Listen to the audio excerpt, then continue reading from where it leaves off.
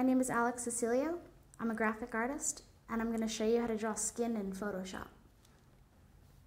So what I've done here is I've drawn out um, a basic hand shape for you to give you a general idea for how you can draw skin with the right light in it. So what you're first going to do is take your shape and add a layer below it. Um, and the way you do this is you go down to this little panel next to your uh, trash can and you select create new layer.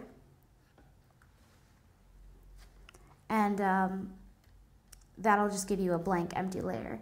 So what you can do is select your hand shape and select the layer below it and I'm going to pick my skin tone and fill in, oops, um, fill in the color you have. Now, you've got this ugly, like, anti-aliasing line, so what you can do is just select the uh, paintbrush tool and go back in and just quickly, really quickly, just fill it in. Oops. Um, actually, the reason that happened is because I filled it in on top.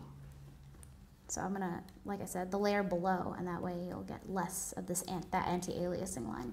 You can still go back with your paintbrush though and fill in the parts that you know didn't fill in as well, because there will be, you know, uh, times when that happens. Okay, so after you've picked your skin tone, you're gonna want to decide where your light is coming from.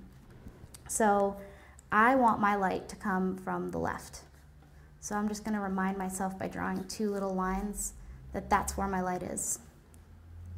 And so I'm going to add another layer, and you don't have to do this, um, but if you don't want to make mistakes, you probably want to add another layer, and then you can merge your layers la later, which I'll show you.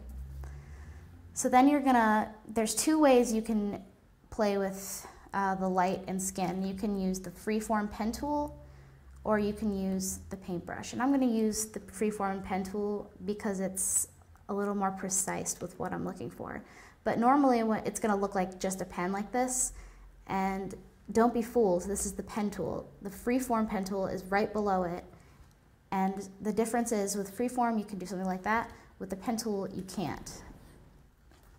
So I'm going to use the freeform pen tool. Select a slightly darker color to, to represent my shading. And then I'm going to go in and start shading my hand.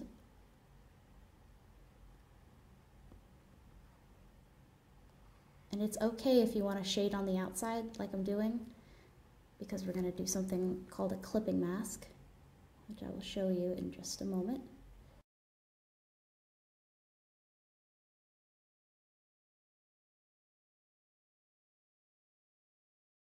All right, so then once you've got your areas that you want filled in uh, drawn out, you can hold down Control click and you can do fill path. Um, just, um, this button right here. And then um, you're gonna say, okay, yes, uh, foreground color, push OK, and this will fill in your hand. Now, you're probably going to get super frustrated at this because of this outline, uh, this out, out of the lines color thing. But all you got to do is hold down control, click the layer that it's on, create a clipping mask, and immediately it's going to take out anything that isn't in the line. And so then, once you've done that, you can control click and delete path, and this will get rid of your path. That is how you draw skin in Photoshop. My name is Alex Cecilio, and thank you very much.